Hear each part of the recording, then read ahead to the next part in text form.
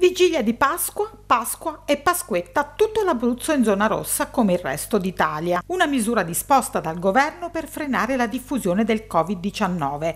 Da martedì 6 aprile cambierà la mappa delle maggiori restrizioni sul territorio abruzzese. L'unità di crisi ha ridefinito l'elenco dei comuni in zona rossa che passano da 24 a 17 e vi resteranno fino all'11 aprile. In provincia dell'Aquila il provvedimento riguarda Celano, Prato La Peligna, Pescina, Cerchio e Corfinio. In quella di Pescara, Colle Corvino, Rocca Morice, San Valentino in Abruzzo Citeriore, in provincia di Chieti Lentella e in quella di Teramo, Nereto, Colonnella, Sant'Egidio la Vibrata, Santomero, Alba Adriatica, Martinsicuro, Canzano e Pietralta, frazione di Valle Castellana. L'assessore regionale alla sanità Nicoletta Veri esorta tutti a rispettare le regole e a non abbassare la guardia, soprattutto durante i giorni di Pasqua e Pasquetta, per non vanificare i risultati ottenuti fino ad ora. Nella nostra regione che abbiamo uno degli indici più bassi RT a livello nazionale è una regione che ha tutti i requisiti, tutti gli indicatori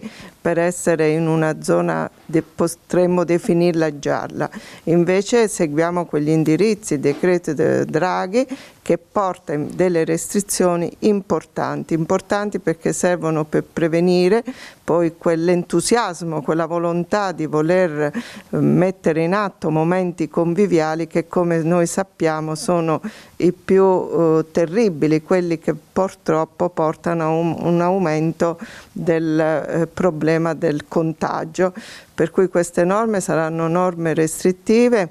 Il messaggio che io voglio mandare è innanzitutto di un augurio, di un augurio di speranza ai nostri corregionali e seguire più attentamente quelle regole perché come sono stati bravi, attenti nei mesi precedenti, adesso non dobbiamo vanificare il sacrificio messo in atto e quindi mantenere queste norme evitando qualsiasi momento di, diversi, di, di diversificato dalle norme è fondamentale.